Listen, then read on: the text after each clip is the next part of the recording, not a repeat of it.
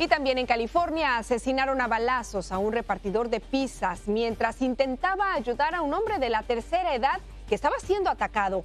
Al parecer el trabajador se detuvo cuando estaba haciendo una entrega al ver que cuatro ladrones estaban asaltando a un pobre hombre de 76 años, pero cuando se les enfrentó, dispararon varias veces quitándole la vida antes de huir de la escena. Los vecinos describieron el terror que vivieron durante esa balacera. Y mi hija fue la que, la que oyó. Ah, oyó que alguien estaba yelling y enseguida, enseguida de, enseguida de eso oyó, oyó disparos. Oyó disparos y ella fue cuando se, se, asustó, se asustó, entró corriendo, yo estaba en mi cuarto.